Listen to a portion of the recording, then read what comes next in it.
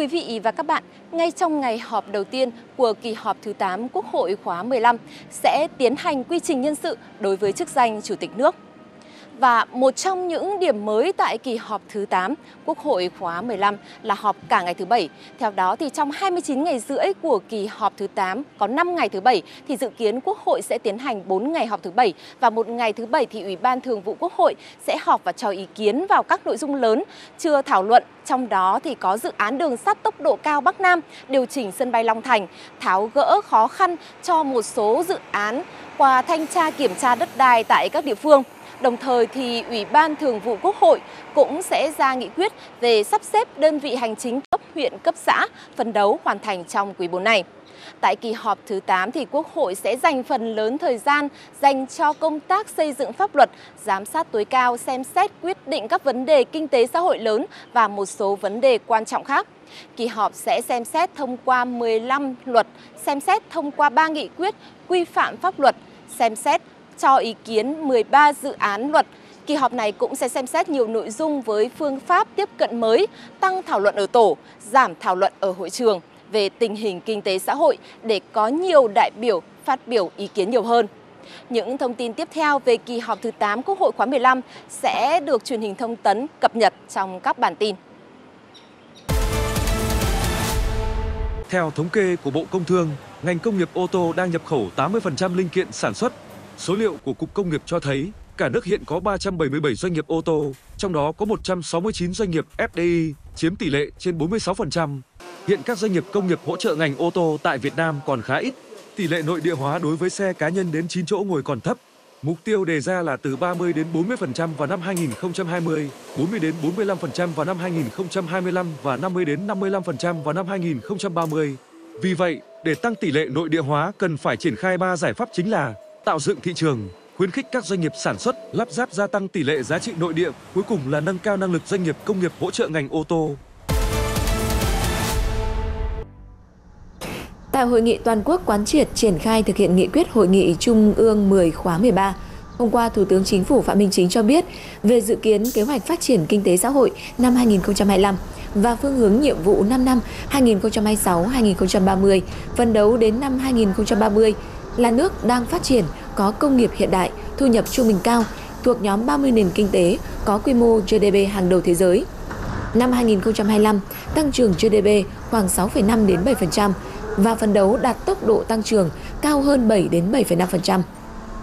GDP bình quân đầu người đạt khoảng 4.900 đô la Mỹ, tốc độ tăng chỉ số giá tiêu dùng bình quân khoảng 4,5%. Phần đấu đến năm 2030, GDP của Việt Nam đạt khoảng 780 đến 800 tỷ đô la Mỹ.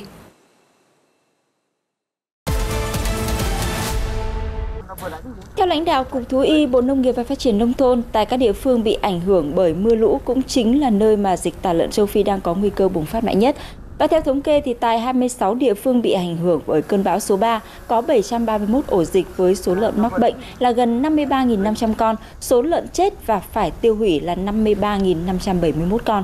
Cùng với đó là tại các địa phương này còn có 21 ổ dịch lở mồm long móng, 21 ổ dịch viêm da nổi cục, 2 ổ dịch cúm da cầm, 15 ổ dịch bệnh bệnh dại với hàng nghìn con gia súc gia cầm phải tiêu hủy. Các địa phương phải thường xuyên theo dõi, giám sát để kịp thời phát hiện những mầm bệnh hoặc dịch bệnh xảy ra kịp thời, tránh tuyệt đối việc vứt xác gia súc, gia cầm hoặc thủy sản chết bừa bãi làm ô nhiễm môi trường. Giá cao tươi đang trên đà lao dốc sau khi tăng chóng mặt và xác lập kỷ lục và nguyên nhân được các thương lái cho biết là phía Trung Quốc đã hạn chế nhập khẩu. Cách đây vài ngày thì giá cao tươi là 80.000 đồng một kg và hiện chỉ còn ở mức 60.000 đồng một kg. Câu chuyện giá cao vụ này lên đỉnh rồi bất ngờ giảm mạnh đã cho thấy sự bất chắc đầy rủi ro từ nhiều năm nay khi mặt hàng cao trong nước tuy có nhiều vùng trồng, song chỉ có duy nhất một đầu ra đó là thị trường Trung Quốc. Bởi vậy, lời giải cho bài toán cây cao trước sau vẫn phải là bài toán xuất khẩu chính ngạch như đã từng làm với các loại quả khác của Việt Nam mới mong tính toán được hiệu quả.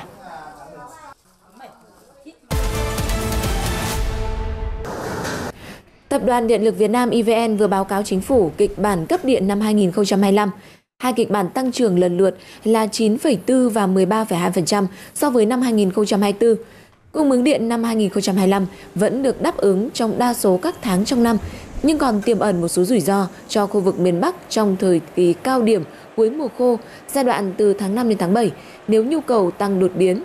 EVN cho hay những khó khăn có thể ảnh hưởng đến cung ứng điện là khả năng cấp khí thiên nhiên trong năm 2025 sẽ bị suy giảm mạnh so với các năm trước đây. Tiến độ của nhiều dự án nguồn điện mới chậm tiến độ.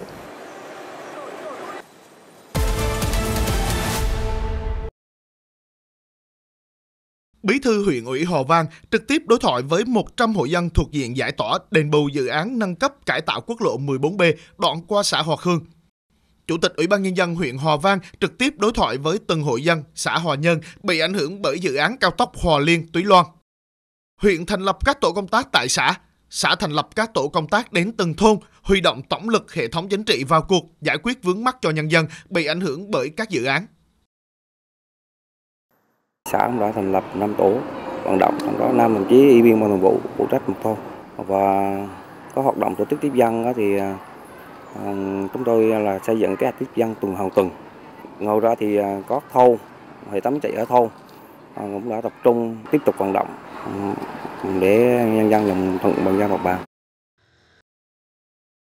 Theo Ủy ban Nhân dân huyện Hòa Vang, ngay sau khi cơ bản hoàn thành giải phóng mặt bằng cho dự án cao tốc Hòa Liên Túy Loan, huyện đã tiếp tục tập trung toàn lực phát động chiến dịch 90 ngày hoàn thành giải phóng mặt bằng dự án nâng cấp cải tạo quốc lộ 14B. Đây là công trình giao thông kết nối thông thương quan trọng của khu vực, còn được gọi là tuyến hành lang kinh tế Đông Tây 2. Thì à, đơn vị cũng cử cán bộ để phối hợp với lại bên à, bài phóng bằng của huyện và đồng thời là à, cũng phối hợp với lại chỗ ngoài hiện trường để mà động viên các à, người dân để mà người ta hỗ trợ phối hợp và về cái để đẩy nhanh tiến độ thì bây giờ trong cái điều kiện mặt bằng như vậy thì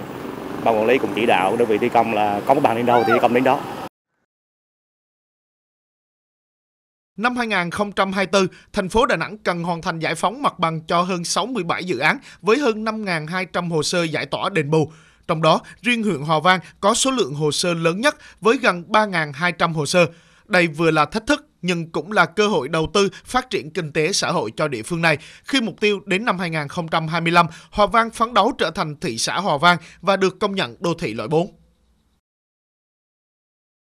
Chúng tôi đã phát động 90 ngày. Đây là một cái đưa ra để gần như là cả hệ thống chính trị à, cũng như nhân dân là phấn đấu để chúng ta hoàn thành cái dự án sớm chúng tôi cũng đã tập trung chỉ đạo quyết liệt là ưu tiên việc à, xác lập các hồ sơ à, tự thực hiện các cái à, quy trình thủ tục các bước kể cả cái việc mà lực lượng bổ sung cho cái việc bảo vệ rất lớn. Nằm ở phía tây thành phố Đà Nẵng, huyện Hòa Vang có tổng diện tích gần 73.500 ha, chiếm gần 75% diện tích toàn thành phố. Đây còn là địa phương có các trục giao thông quan trọng kết nối thông thương khu vực miền Trung. Vì vậy, trong chiến lược phát triển, Hòa Vang được đầu tư rất nhiều dự án quy mô lớn thời gian đến và trở thành đại công trường của thành phố Đà Nẵng.